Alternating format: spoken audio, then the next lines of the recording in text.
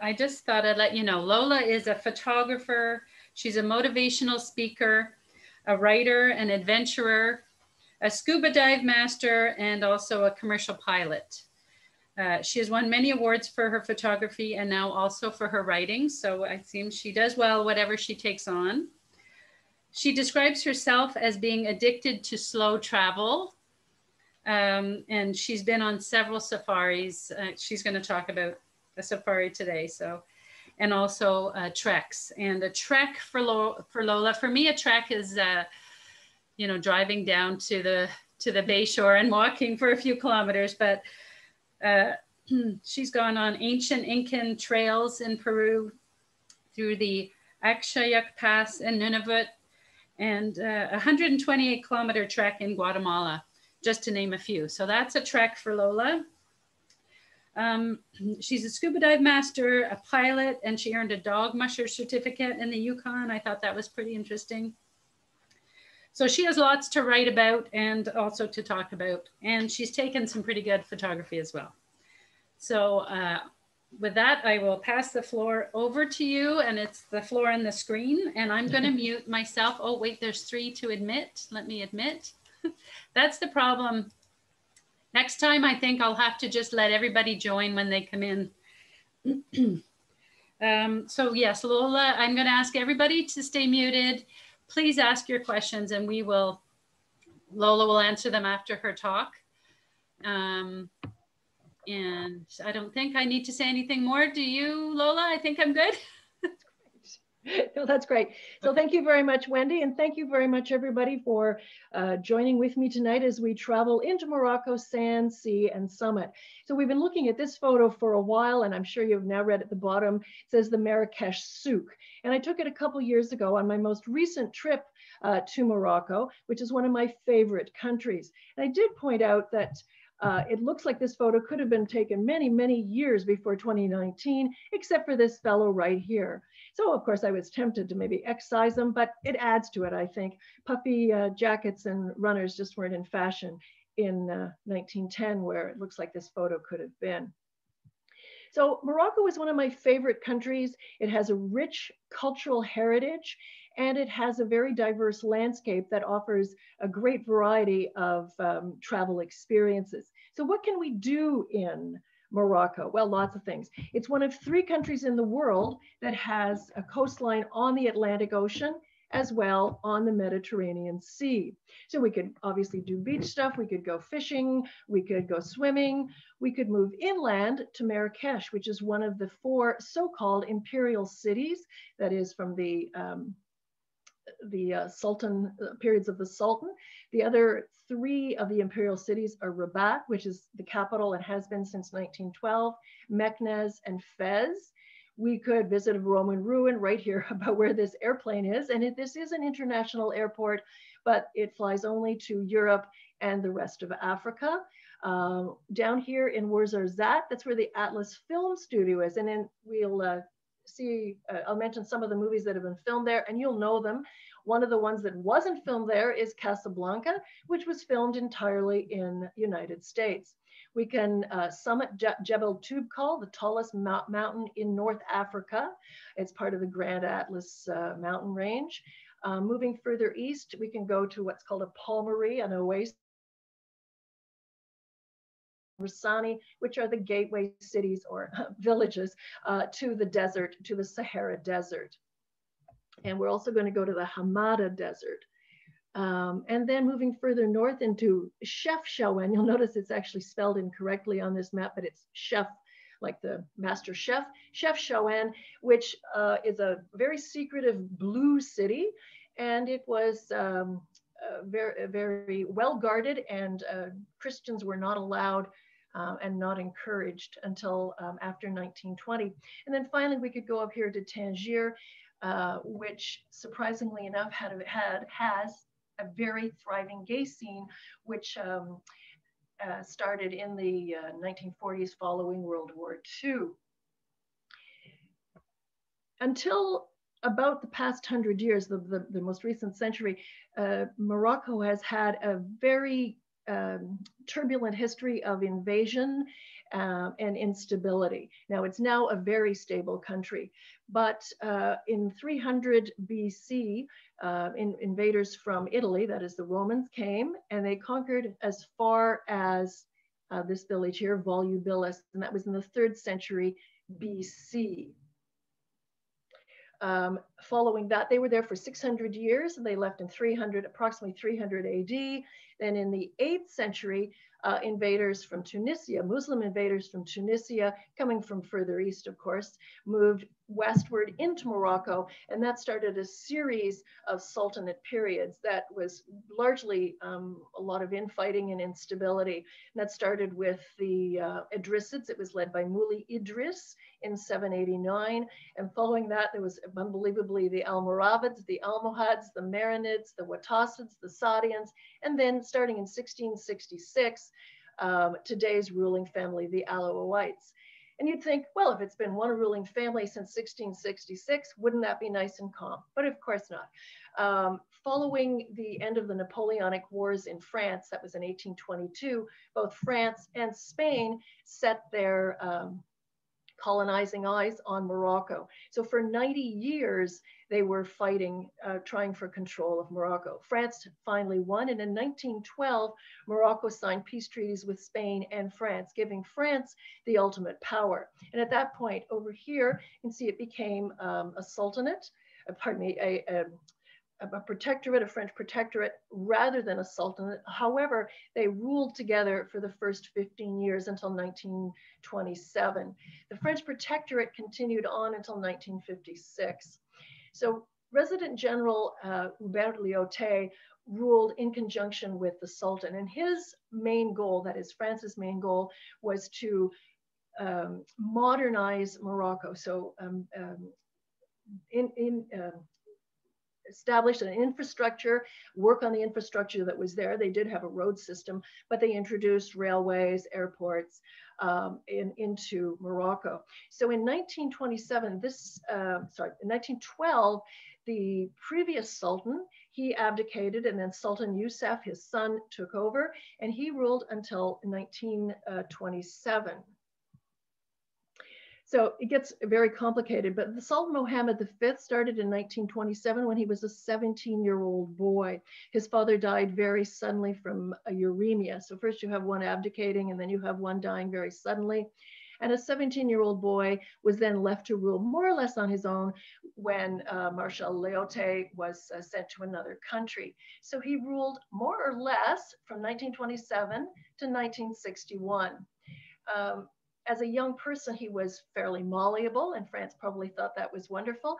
One thing he was firm on was in World War II, the French, this was the Vichy government who were allied with Germany, the Vichy government wanted uh, to send all of the Muslims in, uh, sorry, all of the Jews in uh, Morocco to France, and of course, then for deportation to Germany and the um, the gas chambers. He refused. So of course, this made France very upset. They started allying with uh, a great nephew of his from another uh, another grandfather, and uh, so for two years he was in exile. He had three wives, but these three are not his wives; these are his children. I only found one picture of one of his wives. Generally, the wives were way in the background. Um, in 19 um, 56, he, in 1955, he returned to Morocco. In 1956, he led the country into independence. 1957, he named himself a king. 1959, he introduced a system of healthcare for his people. So he was generally a very good king. His son um, took over in uh, 1961 after Mohammed died very suddenly at age 51 following post-surgical complications. So starting in 1961 to 1999, Morocco had its first period of real stability. And if you look at this picture, I bet you can guess why it was so stable. It was also during this time period considered to be one of the most repressive countries in Africa. And uh, that's going a long way. And uh, it often met uh, criticism for its human rights abuses. He had two wives.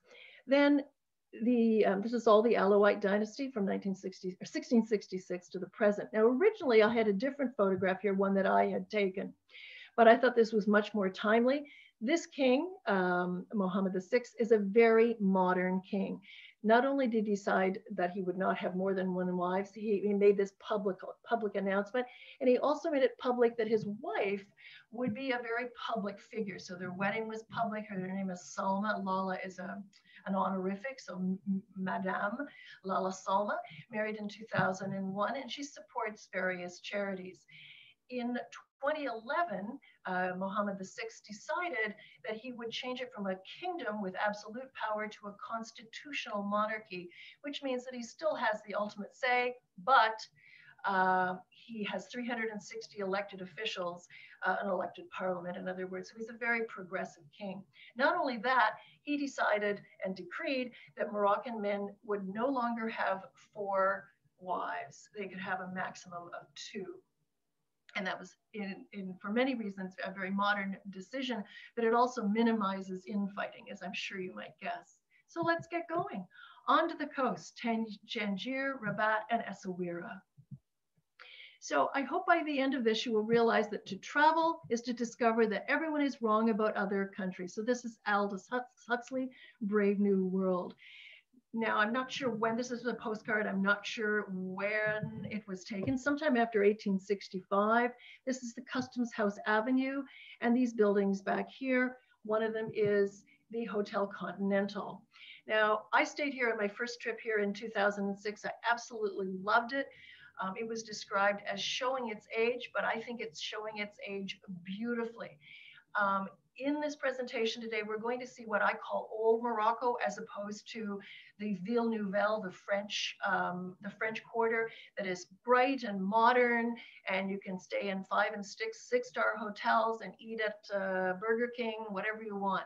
But um, that and and uh, we owe that divergence of the Ville Nouvelle, the new cities, and the old city to Marshal Lyautey, who recognized sometime between 1912 and 1927 that these cities, particularly the imperial cities, needed to be preserved.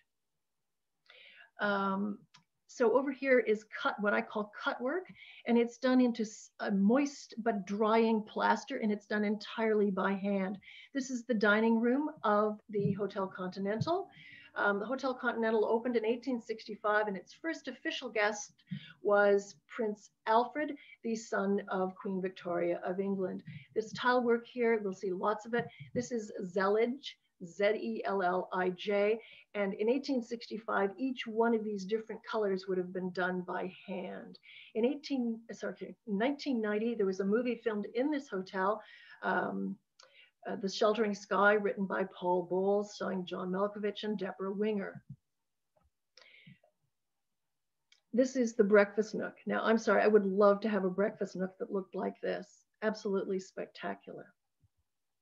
This is Hadouj, the maid from the Continental, and she only spoke Berber. So Arabic is the uh, language, the official language, but there are also three Berber dialects spoken uh, throughout Morocco as well as in the north, they speak Spanish. In the south, they speak Spanish. And in the central region along the High Atlas and Marrakesh, you'll find French spoken. English will be spoken in the major hotels, and I think that's about it. You, will find it occasionally at other places. But if you know Arabic, you're really in luck. French and Spanish, that will work very well for you. However, she spoke Berber, and I don't speak Berber. So our, this photo shoot that I wanted, I thought she had a beautiful face, uh, was arranged um, by the concierge at the Hotel Continental. And there were two conditions. The first one was that it be taken in the royal suite and I thought the colors worked beautifully. So I was, uh, I thought that was a great idea. And it had just been vacated by American TV travel guru Rick Steves and his family. The second condition, which you might imagine, was that I send her photos, which of course I was happy to do through the hotel. She is a married Berber woman, and this little, very faint mark here is a tattoo indicating her marital status. She is from Chef Chefchaouen, about 60 uh, miles to the east. So this is one of the few modern um, scenes you'll see. Tangier's history is very, very uh, colorful to say the least. Um, from 1939 to 1945, this was called an international zone. Um, in just after World War II ended in 1945, Paul Bowles moved here with his wife. I mentioned earlier it was the, the start of a very active uh, gay community, very active gay scene. Paul Bowles moved here with his wife, Jane, and it was a marriage of convenience because both of them preferred same-sex partners for um, sex. Uh, in addition to them, we had the Beat Generation. William S. Burroughs wrote, wrote Naked Lunch here. And in 1955, Tennessee Williams, who lived here, wrote uh, Hat, on a, Cat on a Hot Tin Roof. So this is the old uh, city, and here is uh, the new city, but the gateway going into the old city. So it's very, very modern. This is a take on the Moroccan flag. Now, William S. Burroughs wrote Naked Lunch when he was living here. He wrote this in 1959, and it referred to the uh, international zone. And in his book, Naked Lunch, which you've seen it, it's uh, if you've read it or seen the movie by David Cronenberg, it's a very unusual book.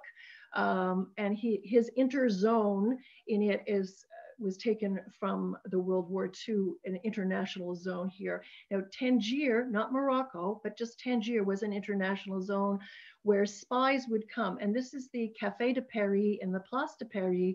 And spies would come from America, Britain, um, some from Italy, Japan, uh, Spain, and they would sit at these tables. And the tables are arranged so that there's a table and then two chairs, but the chairs face out. So you don't know who's actually doing, who's talking with whom. Am I talking to the person seated beside me or am I seated to the person to the left? Um, I mentioned Malcolm Forbes earlier. He uh, had his birthday party here, and uh, even though Elizabeth Taylor was on his arms, he wasn't fooling anybody about his sexual preference. So Morocco is a very unusual country with some very definite Muslim uh, rules, and yet they're very, very liberal. This is Rabat, the capital, from 1912 to the present. Um, it was designed, um, this is the, the new section, Ville Nouvelle, um, by the, the French Protectorate and it has a very small uh, Medina, which is the old city. But you can see here the, the very real influence of, of France and the architecture of France. For me, Rabat is fun. It's um, a very pleasant city, nothing very exciting, but very pleasant. The best thing to see is the Chella, which is the uh, a ruin, a, a Muslim ruin just, just to the south, but adjacent to the city. It was built during the Almohad dynasty. And if you look off here to the left, you can see I mentioned the Almoravids and the Almohads. Both together lasted only 230 years. So you can imagine all the fighting that was going on. So over here, I've written Kubas of the Marabout. So Kuba, a Kuba is one of these shrines, and a Marabout is a a local regional saint with magical powers. This is a, a walled city, a medieval fortified necropolis, meaning it's a burial ground and it uh, has a, a, a, walled city or wall around it. These little flower-like um, specks are really um, white egrets. Now off to the left, more of the architecture. It is a ruin, um, but uh, here we have the Brugmansia and it makes a beautiful plant. It is available here in Canada. I don't rec recommend making a tea of it unless you want to spend the next three days on your back hallucinating wildly. I'm surprised that thrashers sell it, but they do. Um, over here, uh, again, this is during the Almohad dynasty, and we have a, the proportion here of the minarets of one to five. The storks I point out because the Muslims consider it an auspicious sign if a stork is nesting on the minaret. In Essaouira, this city looks older than it really is. The wall, and we'll see more of the wall later, the wall here was from 1760 to 1770. Um, the city itself started in the 15th century by Portuguese um, sailors and fishermen, and it was the only port between um, there and Tangier that was open to Europeans. It was a very closed society. You'll also hear this referred as Suera by locals, and also Mogador. So if someone asks you if you're going to Mogador and you haven't got a clue where that is because it won't be on maps anymore, they're asking you if you're going to Essaouira. And they do it on purpose, but they're just teasing in a very nice way. So lots and lots of boats. This is the Scala du Port, and you can walk along the wall and then go up into the top of the building and look over. And here we have Mogador, the original name of the city, uh, and it was known this until as this until 1960. I just happen to love this picture. Lots of fresh fruit all over Morocco, and I love the designs um, by the curl, uh, the curling of the skins. This picture, again, I happen to like it just because of the simplicity. Uh, the colors are repeated between the bird and the sky and the building, and it, it's quite contrast. It contrasts quite nicely to this wild but very and beautiful painting um, done on the wall of a restaurant. And this is a nod to the African um, part of, of, the, the, the, uh, the, Negro, the blacks of, of the rest of Africa. So for example, in um, Morocco, they are more closely aligned uh, with uh, Spain and with uh, France and the Mediterranean in general. So when I was sitting in a restaurant in Casablanca, in the hotel restaurant, and I was there with my bags. I was obviously leaving. The waiter asked if I was going to uh, back home to Canada. And I said, no, I was going to Kenya. He smiled and he said, oh, you're off to Africa, which took me aback for a millisecond until I realized that they're very, very much aligned with the Mediterranean. These are typical wares that you could buy almost anywhere. Um, this is perhaps a bit unusual because of the seacoast area. And uh, this is definitely along the sea. If uh, you want to cook at home, you can get your uh, eels, more eels here, squid, octopus, but these uh, roadside stalls or uh, river waterside stalls are everywhere. Moroccans have a real sweet tooth. This headdress here is uh, the hijab and it's much more common than this, which I've actually never seen in Morocco. This is a chador and uh, a niqab on the face, but it looks like our COVID-19 masks of the, the, there's 36 and a half million people in Morocco. And as I mentioned, it's very, very liberal country. Here they're demonstrating peacefully. Um, it was no problem getting in right into the crush. This is my shadow right here. And what they're saying is we are citizens and we are not as, slaves, esclavos. And it says the same in, in uh, Arabic. And they're, they're demonstrating peacefully. There were police nearby uh, but peaceful demonstrations, um, speaking out is is encouraged actually. And in this particular case, they were speaking out about the death of a fisherman who was charged with fishing illegally in uh, in the Mediterranean. His his catch was confiscated, thrown into a dumpster. He jumped into the dumpster and unfortunately was killed. So this occurred in 2019 in May when we were there. And as um, to mark his 20th, uh, 20 years on uh, the throne, King Mohammed VI pardoned um, many of the uh, people who were in jail and had been in jail before his uh, reign. On to Chefchaouen. This is a really magical city. Uh, perhaps village is more like it. It's, it's hidden in the mountains right about here. And it's also, it has a different name as well. If you get rid of the, these letters here and replace it with just a single X, it's still pronounced the same way, Chaouen, Chefchaouen or Chaouen.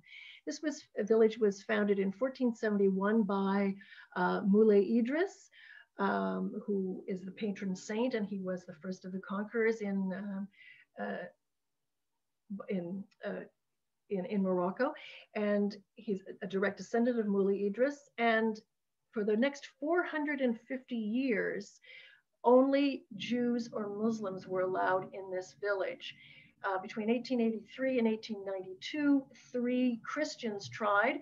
One was an American who was poisoned and died. One was a Frenchman who disguised himself as a rabbi but fled after an hour. And the third was a, a British journalist who stayed long enough to uh, write about it and he, he managed to escape, but just barely. These uh, the Muslims and the Jews were fleeing persecution, um, uh, primarily from Spain.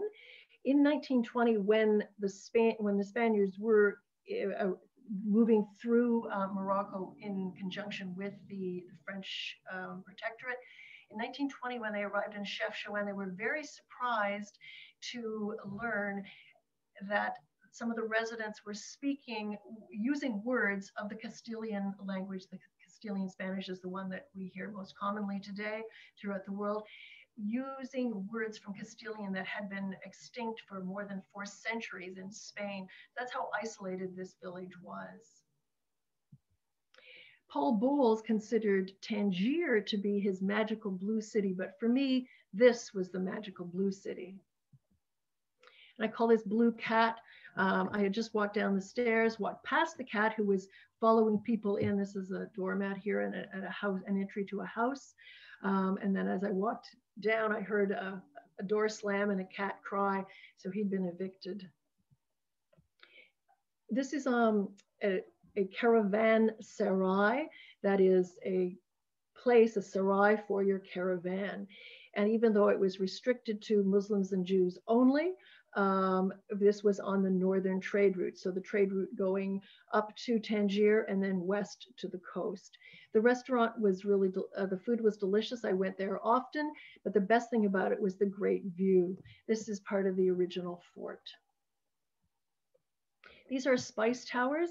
Um, and you can see over here, there's a man actually making the spice tower. I think this is turmeric and he's got a plastic on the ground here. Now this takes, you can imagine how long it takes to make each of these spice towers and how easily it could be disrupted by, you know, a finger of a little child or someone jostling it. So I wasn't surprised, but I was a little saddened in 2019 when I was there that uh, these have been replaced by artificial cones that have had texture and color added to them. Fez al Bali turns out to be now my favorite city in Morocco. It's very remarkable. It was founded in 789 by Moulay Idris, who is the patron saint of Fez al Bali. Fez al Bali is a walled city. It is the old city. If uh, just outside is the Ville Nouvelle, and as and again as I mentioned, if you want to stay in the the new city, there are lots of beautiful, beautiful structures. But you'll see some of the places that I stayed inside Fez al Bali. It's a UNESCO World Heritage Site, one of three that we'll visit tonight. And just over here is Bab Makrouk, and just inside is Bab Boujalud. And I mention that just because you notice that there's a wall with gates, and once you get inside, there are more gates. And this is Bab Boujalud. It looks like it could have been constructed several centuries ago, but in fact, it was actually constructed in 1913 um, during the French protectorate era, just one year into the French protectorate. These are typical Moorish arches uh, with the pinched sides and then um, a horseshoe with a, a, point at the top. Um, it's considered by most Muslims a very bad thing to represent the human, um, the human form or the human face. So instead, on most of the designs, what you'll see is um, geometric patterns. So this is typical, a typical Moorish geometric pattern and typical uh, Moorish um, arabesques. So floral details, scroll work. Um, on the other side, this is all tile work. And on the other side, there is tile work as well, but is of green color, more like this color here on this minaret. This is just uh, scenes of the beautiful tile work, the zellige, the cut work, uh, some wooden carvings just over here, wooden carving, and a close-up of the uh, minaret we saw a few moments ago. Walking through Fez um, can be a challenge. Initially, uh, it's not a dangerous challenge, but you be prepared to get lost. Um, when I first went, I called from on the telephone from Chefchaouen. I, I booked a hotel that was a, a riad which is like a Moroccan B&B, and I booked it very close to the gate, so I was sure that I'd be able to find it. And I never did find it. I, I hired a guide. He couldn't find it. None, neither of us could find it. So I gave up. I went to another riad, and it all worked out. But in the four days I stayed there, I never ever found that that riad. So it is a bit confusing. The streets are all narrow, they're labyrinthine, but they're very cool because of the lattice uh, weaving up above. But you'll notice this sign right here. Now, I think this is a sign for the Karaween Mosque. It'll say right here in English, not Arabic. So it is designed for the traveler. And this arrow points to the left. So if you wanted to go to the Karaween Mosque, you would go down this way and there's signs all the way along to help you with that. And after a while, unless you're really bad with directions, um, you'll find your way quite easily. These are just a sampling of a fairly typical, but I think quite beautiful wares. They do want to point out here this uh, brass work. These are two brass hands. And you'll notice they have two thumbs. And this indicates the melding of two religions. The one thumb, or one of the thumbs, represents Beth, who is the first wife of the prophet Abraham. And the other is uh, the thumb or the hand of Khadijah, who is the first wife of the Muslim prophet Muhammad. Rugs, there are lots of them everywhere, absolutely everywhere. And if you can, you can see where I'm talking right behind me is a rug that I bought um, on my first trip to Morocco. I didn't buy it in Fez.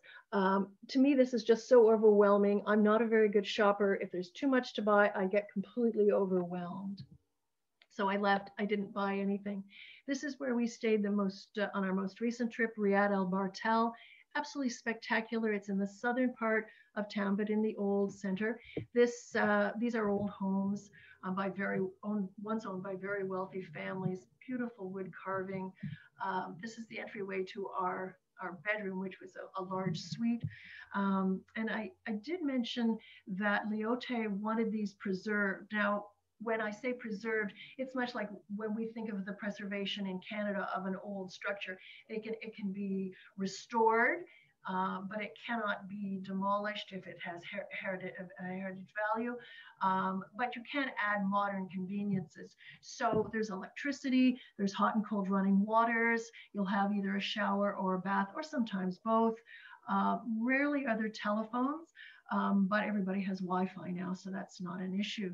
This is the breakfast um, courtyard and supper at this rest or at this riad was also possible. You just had to make arrangements in advance. And I'm actually looking over from our, um, our suite up here, looking over down um, below to the main courtyard. This is the Madrasa Bou Inania, and it was built um, from 1351 to 1358 and it was built by Sultan Abu Inan.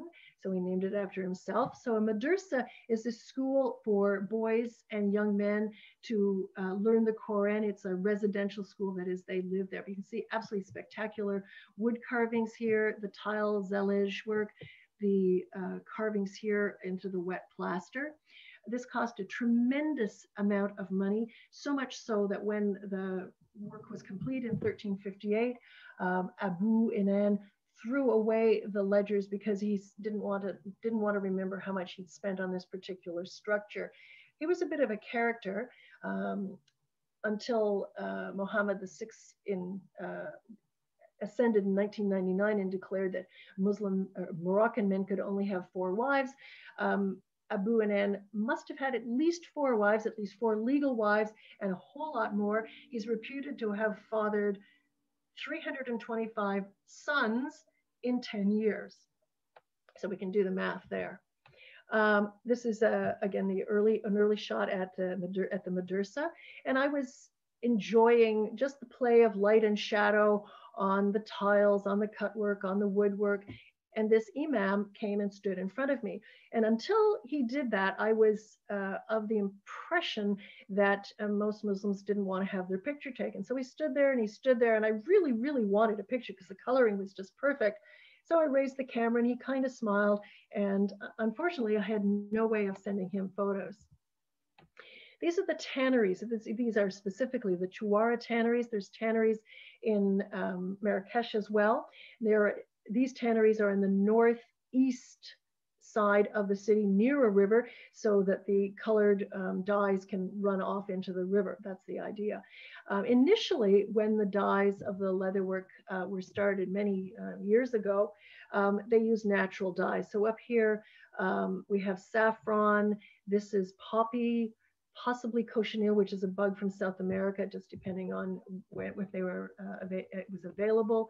This is probably turmeric. This is mint, just here. Um, and black would be antimony. I think there's a black one right here.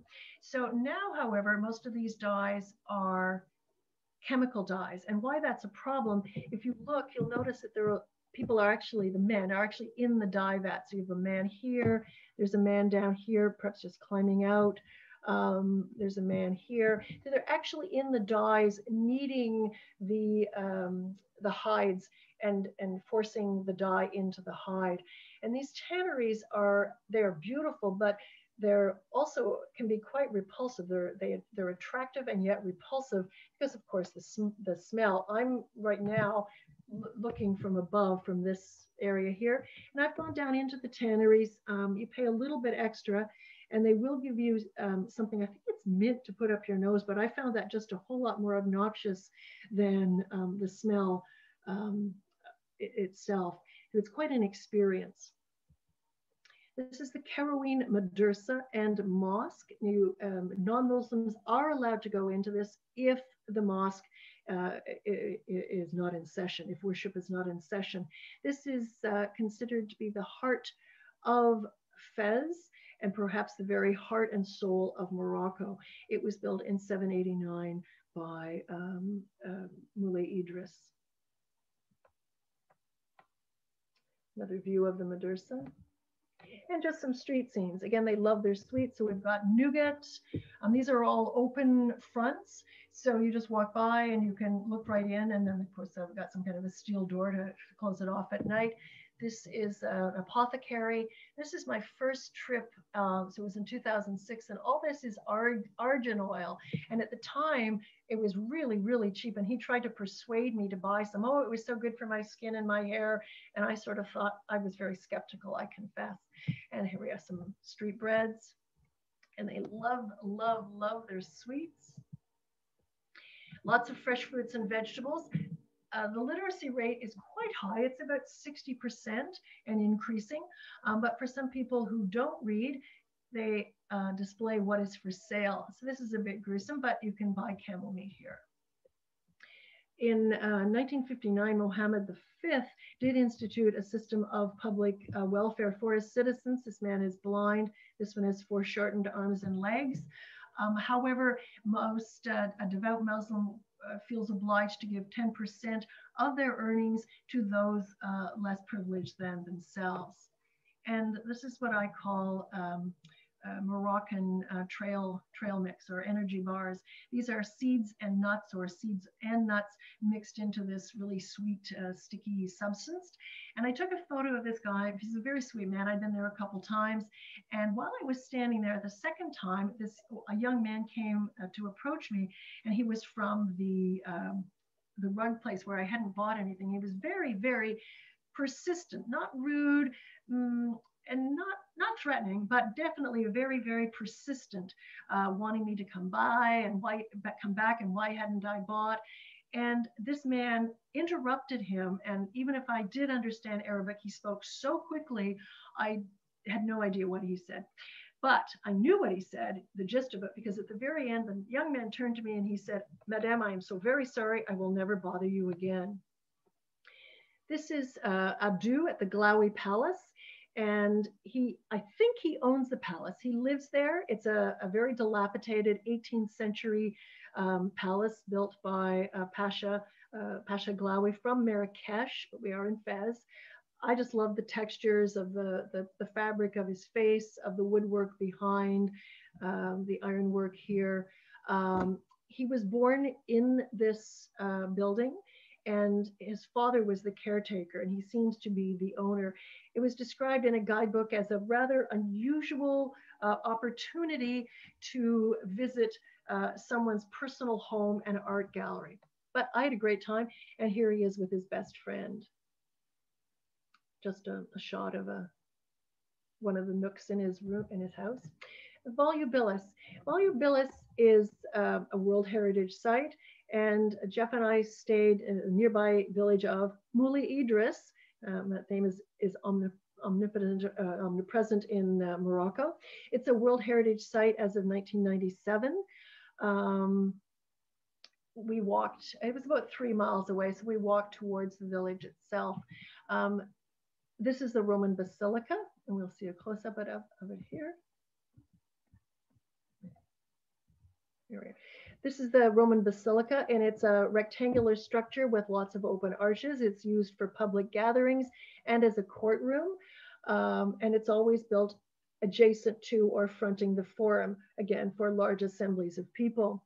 This uh, volubilis is considered a World Heritage Site because it represents the Roman Empire, uh, the western edge of the Roman Empire and urbanization at the far western regions.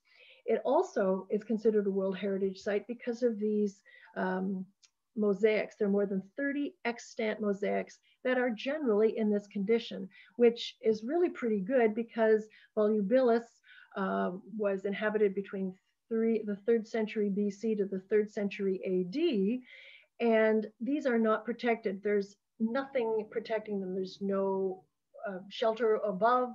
There's no plexiglass close to the flooring itself. There's a little rope over here that sort of says, please don't walk on me, but people do. Marrakesh is uh, used to be my favorite city. Mm, it's still definitely worth a visit. Um, this is the shoe souk or the leather souk. Um, and this is the, the shoe souk section of the leather section. Very modern um, uh, Marrakesh airport. And again, it's an international airport, but only for Europe and Africa. This is Winston Churchill. This is not my photograph. Winston Churchill said, if you only have one day to spend in Morocco, spend it in Marrakesh. And I think that the tour buses are really taking that to heart. Uh, a bit unfortunately. Um, when we were there in 2019, I swear there were 40 tour buses with 40 people in it, and it was uh, like the invading hordes. This is La Mamounia, named after Mamoun, who uh, used to own the land on which this hotel is built. I have not stayed here. Rooms stay start at about 800 US dollars per night. And the rooms, which I've seen, are actually fairly ordinary. Um, but the public gardens are spectacular. The public spaces are spectacular. Winston Churchill used to come here to paint. He was here only once during World War II. That was in 1943. But He came here several times afterwards to paint.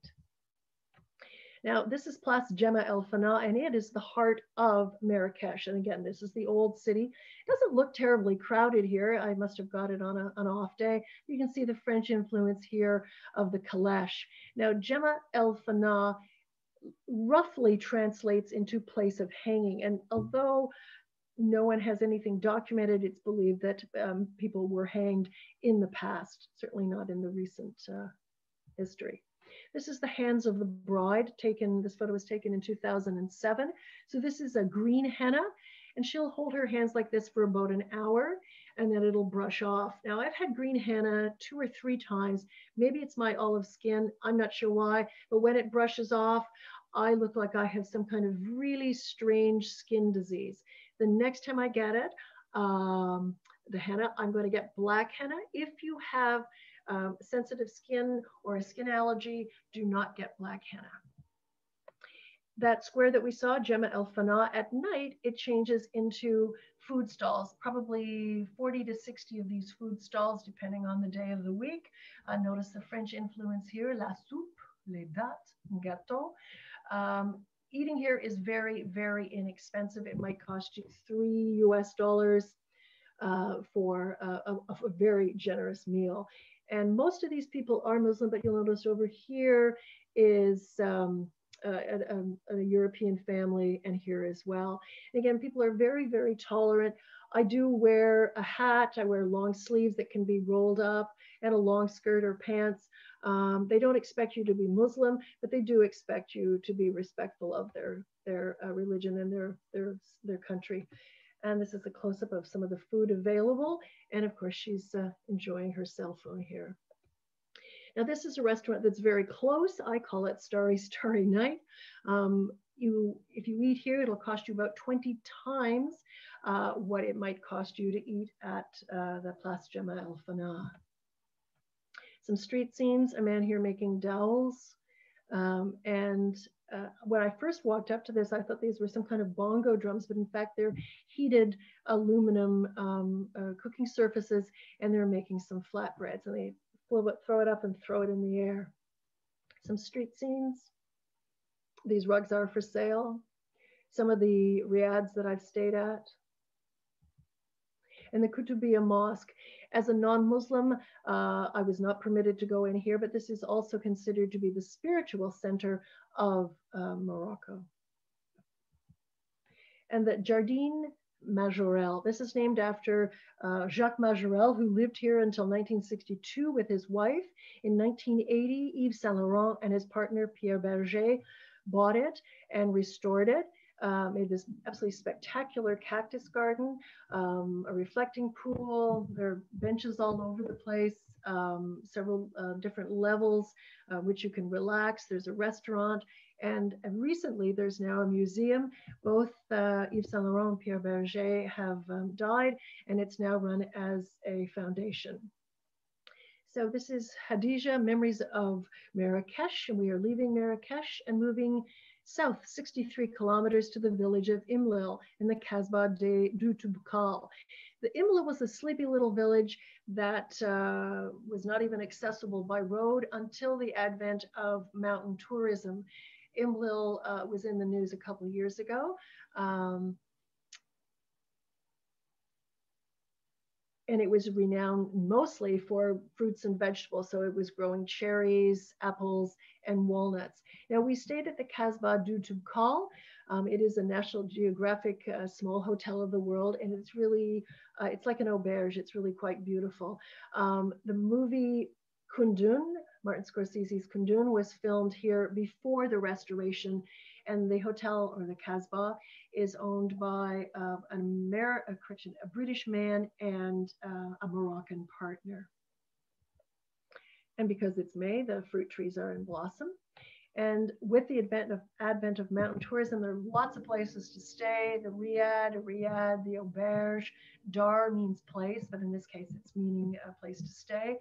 And this is my um, backpack over here being carted by horse because um, you can drive you still can't drive all the way to the village. You park at the base of the hill and walk, mm, I think maybe about know, half an hour up the hill to wherever you're staying. Um, and we climbed the, uh, trekked really, it's not a technical climb. We trekked the, uh, the tallest mountain, Toubkal in North Africa, and it's part of the uh, Atlas chain. And this over here is a map of, uh, of the, the route itself. I found this harder than doing Kilimanjaro in um, Tanzania, probably because we tried to do it in two days. And I would recommend three if you're planning on doing it. But it was much harder because we just did straight up and straight down. I also recommend taking two hiking poles, as the picture here depicts. Um, I also took a picture of this because it's kind of funny. You can call Bushib on your mobile on your way down and have your lunch waiting for you when you finally get with very sore feet and tired legs back into Imlil. So this is our guide Hassan and he and the cameleer treated us very, very well. This is a midday stop for lunch and we're reclining here on very comfortable uh, cushions. Throughout the climb, up and down, they had fresh squeezed orange juice. The beginning of this climb, or trek, uh, beginning of this trek, um, there was a fellow, um, a vendor, a roadside vendor, um, who offered us some samples. And Hassan reached his hand out, his left hand, and he took the sample, it was, which was fine, and then he plopped it in his mouth. And I was absolutely surprised because, so this was in 2019 when we did this trek. I was very surprised because on, on my four previous visits, I'd been warned by almost anybody do not ever, ever take food in your left hand and put it into your mouth. So I hadn't been there since 2010. So I was a bit surprised, but he was very approachable. So I asked him and he said, Hey, we have soap and water now. It's no big thing. Well said. Um, here's the trek. It doesn't look so hard, uh, but it was just a constant uphill. And we're almost uh, at the auberge where we stay overnight uh, at the Alpine, uh, French Alpine Mountain Club uh, auberge. And down, these women were riding their horses down. And at the time, I remember thinking, gee, I wonder why. Well, the next day, I certainly knew why. I was very tired after this uh, descent. So we're just going to trek up here and up here and around the corner, and we'll be sleeping uh, to bed early and getting up at 3 a.m. to uh, summit uh, the tallest mountain. And it was great. We had a great time. It was hard, but it was fun. And this is not a good photograph, but it's a telling photograph. So here you can see we're just going straight up, a little bit of a not straight up, but it's, it's an upslope all the way. And it's also a various, very dangerous upslope. Uh, when we when we left, it was dark. It was probably 4 a.m. by the time we got this far, maybe uh, not even. And of course, like you could just see a few feet ahead of you with your with your headlamp. But you'll notice these are people moving along here, and there's absolutely nothing. If you trip and fall, it's a very narrow trail, and you are going to be zooming down the hill uh, and to your death probably. People do die in this trek, so if you do do decide to do it, I recommend three days, staying two nights in the Alpine um, Clubhouse, and uh, taking two trekking poles and maybe even an ice axe. Onto the Dades Valley and Ouarzazate. Uh, this is Kasbah Amridil. So you might hear Kasbah and Kasur. A Kasbah is where the owner of the village lives, the rich person lives. Um, this is Kasbah Amridil as well, and it was in past on the 50 dirham note of uh, the Moroccan currency, and that's roughly worth about five US dollars. So you can see we've come from Marrakesh, uh, the Kasbah, uh, sorry, the Jebel Toubkal is over here, and then we're moving towards Arzat and the Dades Valley. And the Dades Valley is a palm, uh, a date palm or um, oasis. Another view, looking very much like some of the construction in Mali. This is adobe structure, which we'll see the exterior of, uh, the rough exterior of it near the very end. We stopped here uh, to um, buy some textiles. This is um, Mohammed and his sister Khadijah. And that, by the way, is a lot like a Christian or a Catholic person naming their child, um, um, say, Maria and Joseph, or Mary and Joseph. So uh, of course, is the, the first, uh, the Prophet Muhammad, and his wife Khadijah was his first or perhaps only true wife. She's a member of a weaving cooperative, but here we're actually in their home. This rug here is commercially built or, or manufactured. It's plastic. It's great for the floor. Uh, takes a lot of time to do weaving. Here's her loom, her upright loom in the background. So I bought the um, the wall hanging that's immediately behind my head from um, these people and by the way, he's pouring Moroccan whiskey, which is Moroccan mint tea, and he holds it up high and moves it up and down, moves the teapot up and down and up and down to create that froth. It's an incredibly sweet drink. Um, everything is, they have a tremendous sweet tooth. Anyway, the rug behind me cost about 80 US dollars. And so I paid cash and I, I wanted a couple other rugs, but I really didn't have enough room and I certainly didn't have enough actual cash. But there are two people in the small group with me. They wanted to buy a big rug, and he said, No problem, we have Visa, which absolutely astonished me. This was my first trip uh, in 2006, and I had no idea that they had Visa in this little town called Tinner here. Um, they do have ATMs now, very widely widespread, no problem at all getting getting money whatsoever. This is where there's that, and we are now uh, near the Atlas Film Studio, and some of the movies filmed here or near here are The Sheltering Sky, which is the one uh, written by Paul Bowles, Black Hawk Down, Kundun, Sahara, Gladiator, and Alexander the Great. And in the background here, you can see the high Atlas Mountains. So I stayed at Riad Dar Kamar. It was built in the 1930s by a Pasha, the Pasha Glaoui from Marrakesh and um, it means place of the moon. This was on the Ouarzazate and this uh, building were on the um, the southern Great Southern Oasis trade route. Here you can see the palmyra in the background here, the date palms. Ait Benhaddou is a World Heritage Site, and it uh, is the sandcastle that I mentioned, um, a sandcastle village, and it um, was a World Heritage Site since 1987. This is the village that's been built up to surround it. During my second trip here, uh, there were sandbags across the river to, um, to, to, facilitate travel back and forth. But um, I guess the villagers decided that uh, they could make uh, money by transporting people across using uh, animals instead. This is another view of the Ait Benhaddou. Ait Benhaddou is also the scene of many movies, Lawrence of Arabia, Jesus of Nazareth, Sodom and Gomorrah, and the Kingdom of Heaven. Here's my cameleer. Uh, it was a very, I think it only cost me like five dirhams, which is almost nothing. And uh, it was a, an interesting ride. It was actually quite fast moving water. The water runs off from the high Atlas Mountains. And it, sometimes the roads are closed, not just with a physical barrier, but police uh, staff the gates and make sure you don't cross the barrier. This is inside the uh, village of Ait Benhaddou. It is a living village. People live in most of these houses. She's making uh, bread. And on to the Sahara. You can stay for an hour or several days by camel, by four-wheel drive, four by four. Um, camel is certainly my mode of preference.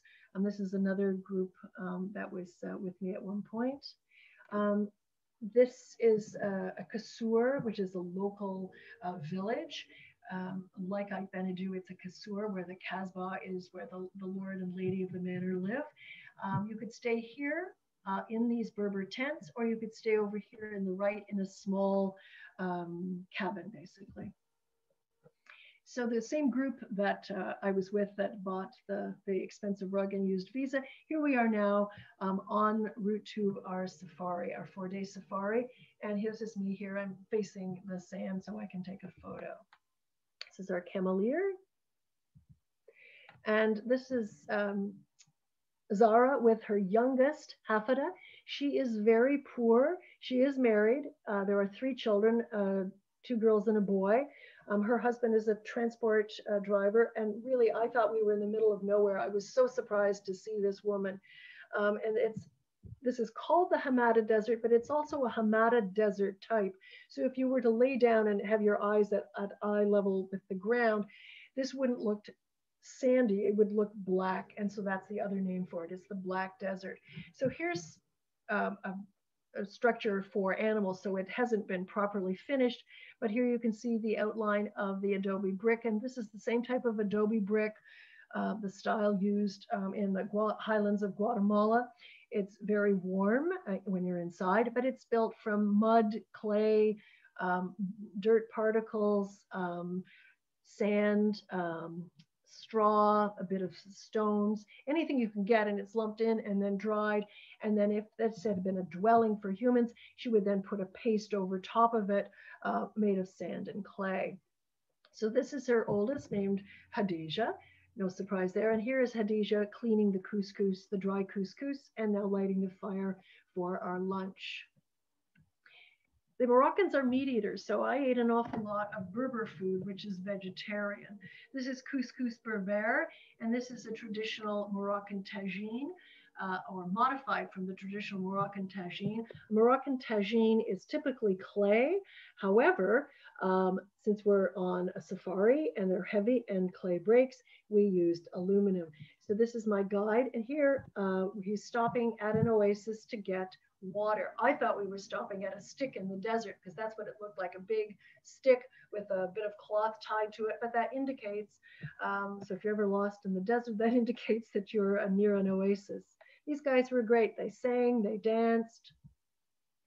And uh, just you can see the, the tent camp on the back here. Here's a close up of the tent camp. Uh, the camels are um, tethered and hobbled so they don't run away. And they do run away very fast. And this is the, if I had my chef with me, but this man, Hassan, stays at the tent camp for three weeks on and one week off, and he's the chef for people who just happen by. Here he is without his headdress, drinking Moroccan whiskey. And believe it or not, this guy is named uh, uh, Jimi Hendrix, the camel, and he's popping out to say goodbye because it's time for us to make tracks and say goodbye. We thank you very much. Um, if you enjoyed this presentation, I do other presentations for um, various uh, uh, other countries in the world. And I'm also a member of the Northern Lights Aero Foundation and the 99th Education and Outreach Committee. Um, and we encourage, uh, we speak uh, to schools, to any to anyone, to encourage girls and young women to get involved in aviation and aerospace. Anyway, thank you very much.